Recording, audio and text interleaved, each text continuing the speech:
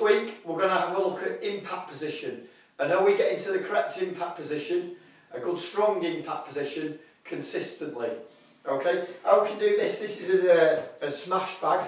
Uh, we can do it maybe with a car tyre or something that's going to help promote how we're going to get to that impact and almost stop us at that position.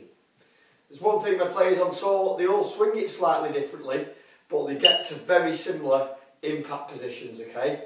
So what this is going to do, we're going to try and hit, hit, the, hit the bag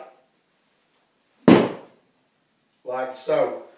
You'll see people that get to a poor impact position, maybe scoop or start to bend the left arm and chicken wing, they'll struggle to do this correctly. So it's really important that we hit the bag, the hips are released and the hands are ahead.